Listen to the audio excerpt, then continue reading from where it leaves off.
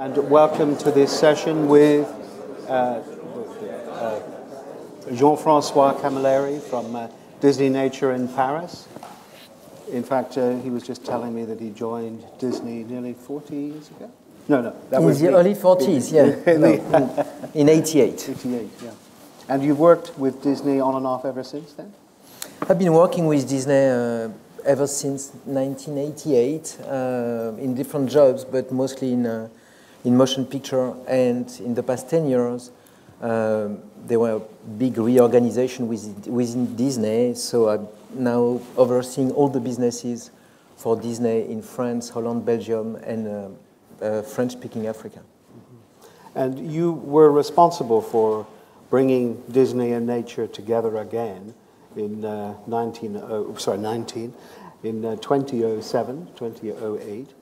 Uh, but it seems to me, let's, let's start with the, the, the, marriage of Disney and nature, because it seems like a marriage made in heaven, really, doesn't it? And in fact, Disney and nature had come into contact before yeah. Disney nature was created. What, what's your first exposure to it? Well, I would say Disney and nature I mean, nature has always been in the heart of Disney content. Um, I mean, you all know Bambi, uh, Jungle Book, um, even 101 Dalmatian or Aristocats, Lion King, and, and many more, of course. And animals have always been playing a very important role in Disney movies because I think Walt Disney himself, back at the beginning of, of the history of the company, thought that through animals, you could tell a lot of, of, of stories um, uh, with human or without human beings. And uh, I, I, would say even, even with Snow White, the very first movie that, that the company did, you, you, you have this very important role played by, by, by animals in general. And then uh, it's important to say that Walt Disney himself was probably one of the first uh, uh, environmentalist, which is a very tough word to say when you're not English. Um, and he was, he was really into it. And at the end of the 40s, he created this True Life Adventures TV series, which also uh, produced movies, some movies which went to, to, to the big screen, won eight Academy Awards with it. And it's probably one of the first like wildlife movies ever. Um, and it's interesting when you see the map, when you look at the map of the True Life Adventures and where those movies take place, most of them take place in North America because at the time it was much more complicated to travel with, with materials and everything. So he would give six months to people with, I mean, to go like in Alaska with cameras and film whatever they, they would be able to film. And they were like the very first wildlife movies with a Cousteau one in the 50s to really like make it to to the big screen or, or, or, or to the Academy Awards. So it has always been there. And back in 2005, uh, actually 2003, when I met the producer of March of the Penguins, and I decided to co-finance and acquire the film for France on behalf of Disney, uh, I, I, did it because I really love those type of films. And uh, I really thought that there were a, a, a cinematographic dimension to this movie and the story and mainly the story is great because whatever the genre of the film you have, whether it's a documentary, whether it's an animated film, whether it's a movie in black and white, whether it's a horror movie or a love story, whether it's French or American or British, uh, if the story is great, the movie would be great. And it, within March of the Penguin, the story was so incredible that, that I really wanted to be part of it. So we co-financed it, we distributed it, and it became this huge phenomenon. Um, and then I, I, I, really thought that it was Disney's place in this troubled time to come back with wonderful nature films. So um, I put together the idea of Disney Nature, sold it to Bob Iger, uh, who bought it, and uh, it became Disney Nature uh, in 2008 with the idea of doing one big cinematographic movie based on a very strong story invented by nature and do one every year. Um, and for those films to inspire people. And I always say, even a movie which hasn't been seen that much, like, like Wings of Life or Crimson Wing, and we might be able to see a, a, a clip of Crimson Wing, uh, which was the very first movie we did back in 2008 and 2009. Even if only 3 million people saw this movie worldwide, including TV and DVD and VOD and theatrical, which is nothing, 3 million people when you think about it. Um, then, if out of those 3 million people, 10 of them, it's going to change the life of 10 of them because they are going to become uh, flamingo specialist or cameraman or director or work for an NGO or decide to give money or time to someone caring for the flamingos or Lake Natron, then it would be a success. We'll just go back for a moment to March of the Penguins because it was a very successful film. In some ways, the most successful of the nature films so far. Why do you think it was so successful, and how did it do for you in the US? Well, we didn't have the film in the US, weirdly speaking. Uh, it did very well for Warner's and Nat Geo because they co owned the movie in the US and it did $77 million, won an Academy Award, remained for a long time the biggest French film ever in the US. Um, and uh, it did very well across the world because I think Earth did, what, 115, Keith, in the world, 120? And March of the Penguins probably did 125. So it it, it, was huge and won a lot of prizes. But I think at the end of the day, coming back to the story, the story was the heart of this film. It's an incredible story that, the, I mean, you knew because you're in this business and, and you love nature and everything, but 99% of the population didn't know. They all discovered this incredible way of, of, of living, of reproducing, uh, the role of the male, the role of the female, the, the instinct of those animals, and people were just blown away by that. So that's a very important part of, of the success. And then I think that the way they work, and I mean, it's, it's very Charlie Chaplin-esque. Charlie Chaplin. Charlie Chaplin-esque. And I think it unconsciously in, in the public mind, it reminded something. Um, and and it's, it's a place where nobody can go, where nobody goes. So, and, and, and I think it's also a way for, for whomever wanted to go and see this film to spend 90 minutes or 80 minutes in a place where they would never go anyway. So, but most important is really the story, which was so strong. Because at the end of the day, the images themselves were not pristine. I mean, they were like super 16 for most of them. And if you watch it today and you, you watch the underwater scenes, it's pretty, it's not very nice images. Mm. Yeah. Now, in a way, I think one of the obvious questions about Disney nature is why does Disney get involved with filming real animals in the first place?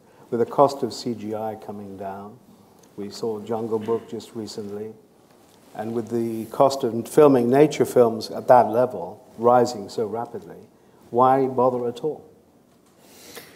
I think it's two totally different ways of seeing things. Uh, CGI is a technical way to help human being stories to be told with animals into it. So it's pure fiction. When Disney Nature and wildlife documentaries are about telling what the story invented by nature. And um, with CGI, it wouldn't work. When we do The Lion King in 2D animation back in 1993, um, it, it cannot be filmed in the wild. Um, it's going to be done in CGI by Jon Favreau, uh, so it's going to be extremely uh, realistic, like the Jungle Book for those who have seen the Jungle Book. So you will see Mufasa and Simba and Rafiki, but in, in CGI. And but it tells a story which is a story invented by human beings. African cats, which basically takes place in the same place with the same type of, of animals, um, is, uh, is not a story invented by man, it's a story invented by nature. So to me, CGI will never ever kill uh, uh, wildlife documentaries. And the only thing is that instead of using a, a tamed chimpanzee in a, in a movie, you will be able to use a, a CGI, so no animals will be hurt during the, the filming, as we say. So you would see real life animals, filming of uh, real animals, as being essential to the idea of Disney nature Oh, yeah. all the way Oh, through. yeah. Oh, yeah. No question. Now, what was the first uh, film that you decided to make, having created Disney Nature in 08? What was the first film, and how did you reach the decision as to which animals you might film? It must be a, there must be an endless cast list.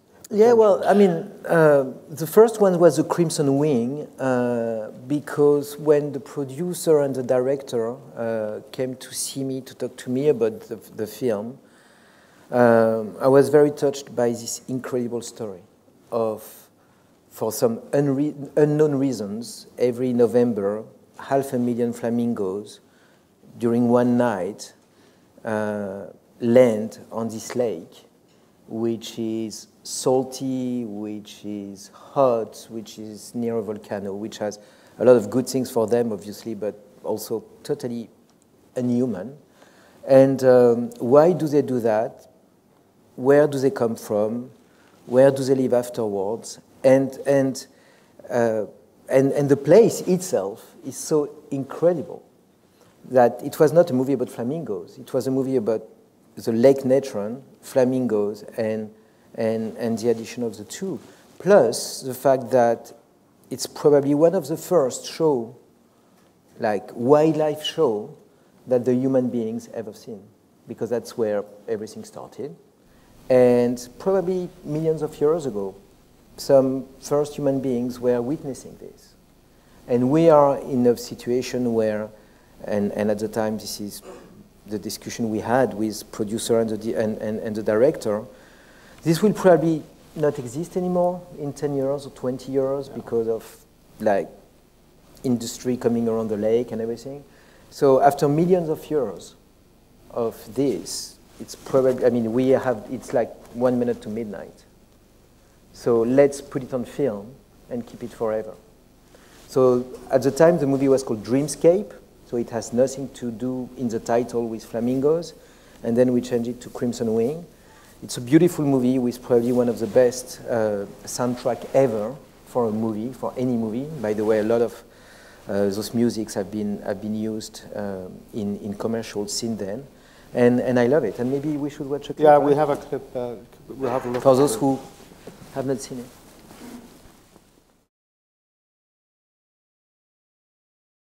So this movie had a, a, a very interesting story, and then, um, yeah, it was the very first movie we did. Now, already after six or eight movies, however many Disney natures have come to light in the last eight years or so, you've made a name for, well, this is a great example, wonderful photography, but also telling very powerful emotional stories. What is your main aim with the series? What's the, the one thing that you, the one box you have to tick with the making of a Disney nature film? Storytelling. And I mean, there's not only one box to tick because if you say storytelling, then you can have a bad cinematography with a great story. And of course, we want a great story with a great cinematography. Um, and it's, it's, but, but the story is at the heart of everything.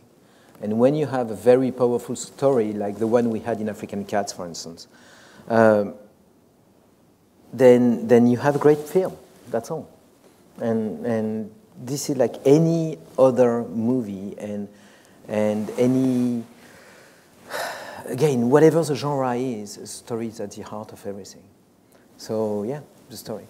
So, how would you set Disney nature apart from? There are great documentary specials where people spend a fortune filming particular animals, particular locations, events. But what do you hope sets Disney nature apart? From a documentary, a special, where they spend a lot of money on, you know, filming the, the migration in Africa, for example. What are you looking for that is different? I'm looking for engaging characters and in those stories invented by nature, which is again a very central thing, uh, engaging characters. And um, in, in Born in China, which we produced, the baby pandas or, or, the, or the snow leopards are very engaging characters. Uh, Oscar in chimpanzee is one of them as well. Uh, in African cats, the cheetahs and the, and the lion families are very engaging. And this is what we need. This is really what we need. I think some of you saw Monkey Kingdom last night. the story of Maya, which is a true story, which has been told by us, I mean to us, by Wolfgang Dittus, the, the, science, the German scientist who has been living there for like 45 years, uh, is a very powerful story. And that's the reason why we do the movie. If we don't have, if we don't know that we, we, we will probably have a very powerful story invented by nature with engaging characters, we won't do the film. And, and uh, interestingly enough, in Crimson Wing, we didn't have engaging characters.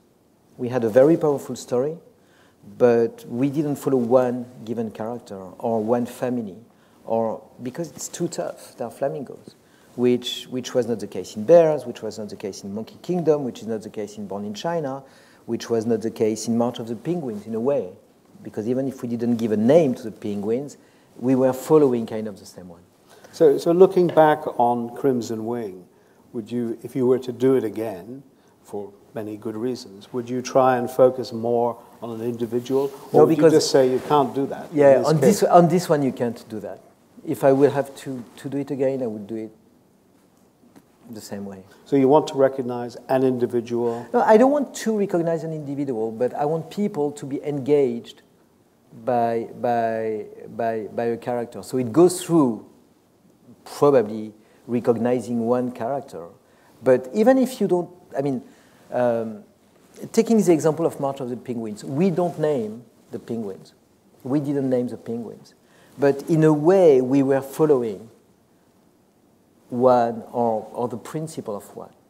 So, I mean, there, there's no recipes per se. And um, we are working on a movie with, with um, uh, Keith, uh, which is called Blue or Dolphin Oasis, whatever. Uh, it's, it's an underwater movie. And underwater is not the same thing as uh, the Masai Mara or as uh, uh, Sri Lanka. So you, you, you, you cannot have recipes. Again, the story is, is, is key. Now, of the other Disney natures that you have uh, overseen, which of the ones do you hold out yourself as being the most successful, that have, been, that have achieved the most in those terms that you've just laid out? I would say African Cat. Okay. We, we have a clip of African Cats, I think. Yeah, we do. I don't know whether it's in the right order, but if we can show a clip of African Cats.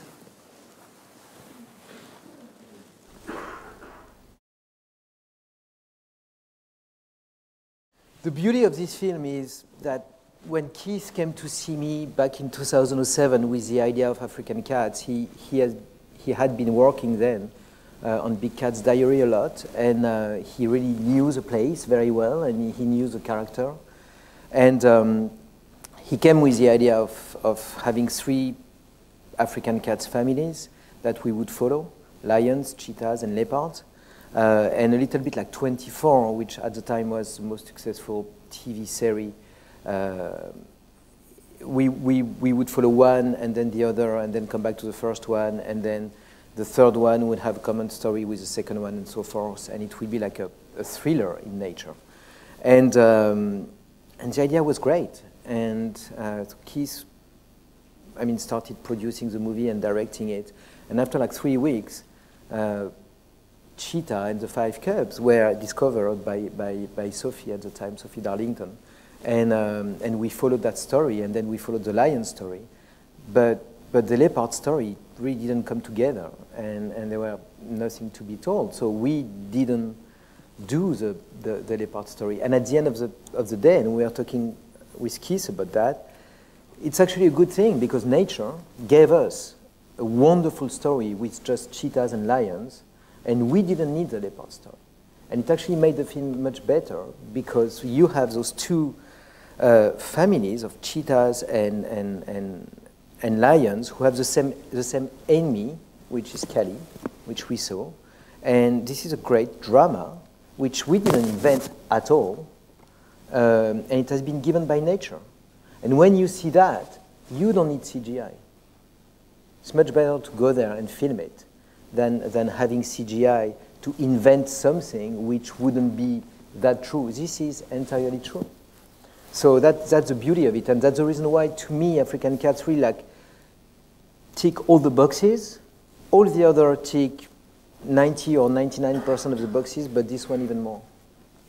How important do you think emotions are in the telling of a story like this? Well, emotion's key because, uh, uh, I mean, emotion, first of all, a lot of emotions goes through the images. You can watch this without any narration whatsoever, uh, maybe a little bit of music, and, and you get the emotion from the five cubs and the attack. You have fear, you have, you, I mean, you don't know what's going to happen to the, to, to the babies, and so you have the emotions through the images, and the, well, that's what's beautiful with nature. I mean, the beautiful nature of photography uh, still can, can give you a lot of emotion. Uh, but then, yeah, I mean, if you add to that the, the real story which comes with it, if you take the story of Maya or in, in, in Monkey Kingdom, uh, you get even more emotion, and emotion is very important. Uh, in motion pictures, you have emotion, or in emotion, you have motion from motion pictures. So you need that. You need emotion. Movies is about emotion. So you need it. So I guess in that sense, it's just like any drama at all, whether it's Yeah, written by course, man or by course, nature. It's about tension. It's about Yeah, whether it's animated, whether it's live action, whether it's superheroes or, or a small like student film, emotion is about. I mean, it's all about emotion and, and, and story. Yeah.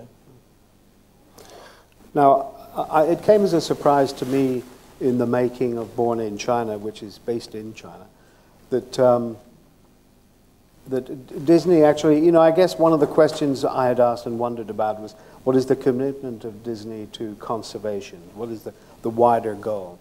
And it came as a surprise to me to discover that actually Disney was wanting to put money back, whether it's into snow leopard conservation or, or panda. Tell us a little bit about conservation and Disney. Conservation is, is key, uh, is actually at the heart of the Disney Nature project or enterprise. Uh, Disney has always uh, been involved in conservation with the Disney Worldwide Conservation Fund, which is uh, based out of uh, Florida uh, at Animal Kingdom, which is one of the parks that Disney owns, uh, which is a wonderful park with, with, with live animals, no CGI animals. Um, and the Disney Worldwide Conservation Fund has been extremely active in the past decades uh, giving a lot of uh, uh, funds to NGOs around the world. Um, and when I created Disney Nature, I really insisted on the fact that I wanted to make sure that part of the revenues before net income, before, because otherwise it's always easy not to give back anything, uh, would go to conservation. So the first one we did was on Earth, when we released Earth in the US. We, the movie did $32 million box office, but the first weekend, uh, we took a part of the box office and we, we gave it to the Nature Conservancy, and we planted 3 million trees in the Atlantic forest uh, in Brazil, and then we did the same thing with Ocean and every single movie lining up. So we worked with many different NGOs, from Conservation International to Jane Goodall Institute, to uh, WWF, um, Wildlife Society, Nature Conservancy, and everything. And um, we created uh, corridors in Kenya with Jane Goodall. We did a lot of things in Gabon, um, Bahamas to protect the coral reefs uh, with ocean. Many, many things. And that's with uh, the movies uh, and the results of the movies based, based out of the US and then in the countries where we are releasing, we also do the same thing. So for instance, in France, where all the movies have been, have been released, we worked with other NGOs, but, uh, and sometimes the same, but sometimes others. For instance, Conservation International is not really big in France or not existent at all. So we go with, with other NGOs. So at the end of the day, if you add up everything we have done, it's quite a lot of different programs in different parts of the world with different NGOs, uh, but always concentrated on that. And even if the movie doesn't do, uh, doesn't bring money at the end, I still want money to be to, to, to be used for conservation because that's that's key. I mean, you cannot do this type of movie and just don't do anything. Mm -hmm. Now, one of the films that uh, I enjoyed the most was Chimpanzee, which was filmed by Martyn Colbeck. In fact, I think we have a clip, don't we, of uh, Chimpanzee. Um, but I think, what, what did you put the money, before we look at the clip, what did the money go to there? Jane Goodall Institute. Uh-huh. Uh, and she actually remained a Disney Nature ambassador after this film. She was so moved by Chimpanzee, which is an incredible story because almost like a year or two years into filming, one day Alastair Fothergill, who directed the movie, called me and said, "We don't have a movie anymore. That's that's it." Oscar, our main character, which we were following for the past two years or whatever, 18 months, is, I mean, his mother's gone and he's not going to survive. And uh, so it was a drama for us because, I mean, first of all, the poor little kid was going to die, and, and, uh, and all the work which, which, which has been done on chimpanzee for the past two years was, was just destroyed. And, uh, and something happened uh, which was totally incredible. Maybe we should look at the clip. Yeah. Can we see? Thank you. So this happened, and uh, then when Jane Goodall saw that, she was just amazed because it was the first time ever that an adoption from a male um, was filmed, and um, and it became the the heart of the film. So we went from not having a movie to having a great story to tell. So it became the, the story of Oscar, but uh, we we couldn't expect it. So it's really uh, again a story invented by nature, as we say. Yeah. Now, I think one of the questions that I'm asked that uh, is a little bit sort of embarrassing or puts me on the spot is will we see this film, like I'm thinking now, born in China? Um, will we see it in the UK? And in fact, you know, there is no cinematic, there's no theatrical distribution for most of these films within the UK. Now, why historically is this the case, and why are there some exceptions? Well, I think uh, the issue is uh, the theatrical business for wildlife movies in, in the UK is because you've done a, a, a, such a great job, you and all the people involved in, in the BBC and BBC movies, uh, a great job showing incredible movies for free on TV every Sunday night, I think. Uh, so I don't think the British public is willing to go and pay whatever it costs to go and see a movie, 10 pounds maybe, to see something they have the feeling they could see on TV.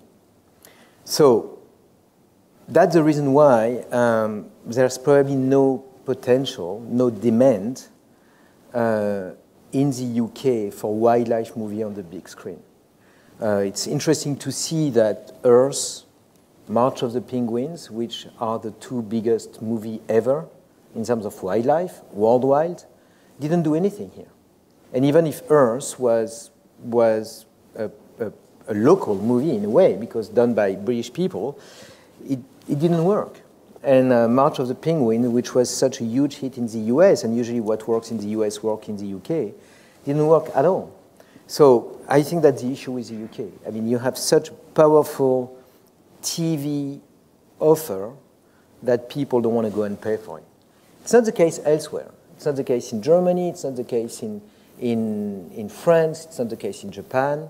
Uh, not for all the movies, but, but there is a market for wildlife films in theaters, and now in the US. So that, that's, that's, that's great for those films, and of course, too bad also that UK, which is such an important market, because for if, if I mean, if you take the worldwide box office, uh, after China and the US, you have the UK, which is the third biggest country in the world. But for the genre we are talking about, it's totally non existent. That's a real shame. I, I mean, the, the, in France, they're popular. I mean, it's very interesting. What do, you, what do you think the difference is between, is it just French television does not provide as much wildlife? I, I think there are, there are several things. First of all, we don't have the offer you have here on TV, that's for sure. Two, I think that we have a, uh, I mean, with Cousteau, we had tradition of uh, uh, wildlife movie on the big screen. Remember that, I think it's 1954, the Palme d'Or in Cannes was given to Le Monde du Silence, The World of Silence, from Jean-Jacques Cousteau and Louis Malle. Hmm. So, 60 years ago, a wildlife movie got the Palme d'Or. So when, when, you're, when you grow up in a country like this and you like cinema, it's, it's part of the, it's part of the, of cinematography. You don't, I mean, you have genres, but it's, it's part of it.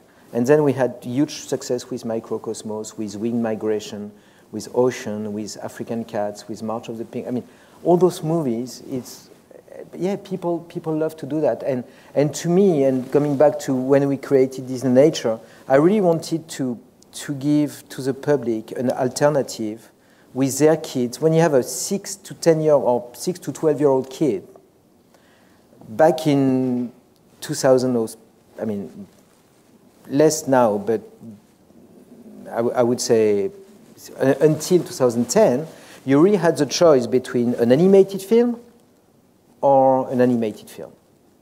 No, and nothing else. And what I wanted to, to do with Disneynature is telling the parents or whatever, the grandparents, you now have the chance, uh, the choice between an animated movie and a wildlife film. You don't have to go and see, I mean, you can go and see a Disney animated movie, of course, but then you can also go and see a Disneynature movie. Or you can go and see a DreamWorks movie and a Disneynature film. So it opens up the, the, the solutions when you have to go out with your kid to go and see a movie. So now there's more things because there's a lot of, like, uh, I don't know how you call them, I mean, the, the Harry Potter and, and, and, but Divergent, I can, whatever. I mean, there's a lot of, uh, there's a bigger, bigger offer in terms of uh, teenager movies today, but um, I really wanted that. I, I, wanted people to have a, a choice between different genre of films. How do you see Disneynature evolving in future? I mean, you, the, the, films that you've made so far have got great cinematography. They've also got strong stories, strong characters in common. But how do you see the, the genre, the brand evolving? I, I, I would say uh, we have to keep going in the same direction. Again, great storytelling, great cinematography, and as long as we will be able to identify those great stories and, and, and the great people behind uh, the cameras and, and, and directing those movies, we'll be in a good position. So we have like movies lining up until 2020.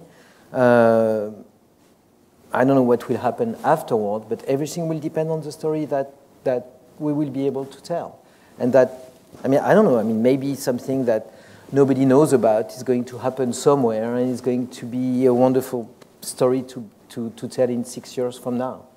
But we will carry on like one film a year, telling a great story with one thing which is key is that those films don't, don't cost that much, but I really insist on giving, giving you guys uh, and the producer who work on the movie and the directors the time you need, the time they need to make a great film. Because the difference between a, high quality wildlife movie and a not that high quality wildlife movie is the time you spend on location. And uh, you need two, you need three, you need four seasons sometimes to get the images you need. And if you stay there only one season, you could be lucky, but if you're not lucky, then the movie will be a piece of crap. So you need to be, we, I mean, time is something which is non-negotiable. And uh, we had the example on bears, actually, where Keith and his team spent um, two and a half seasons on location, uh, and if you include winter, four seasons on location uh, to make bears. And there were another team who, were, who was doing uh, the same movie, but they decided to stay only three months, and they wanted to do it in 3D, and they did it in 3D, but in three months. Um, and at the end, the movie was nowhere. I mean, it was the same story, it was the, the same principle, but the the movie didn't do anything because it was, it was not as good. And not because it was not a Disneynature movie, because they just didn't decide to, to, to give enough time to the production team. And time is essential. Mm-hmm. Great? Yeah. yeah, absolutely. Okay, I think uh, we should wind it up there. Thank you very much, and thank uh, um, Jean Francois for giving us his insights into it. I think it's been very interesting for most of us who are documentary makers to get these insights from Disneynature. It's quite a different world, really. And, and, and I would like to thank you, Brian, for this exercise. I would like to thank Keith and Carol and Matt here from Disney Nature team, and Lucy and Peter for uh, having us. I think Lucy just left, but for having us at Wildscreen. It's a pleasure. Thank you very much.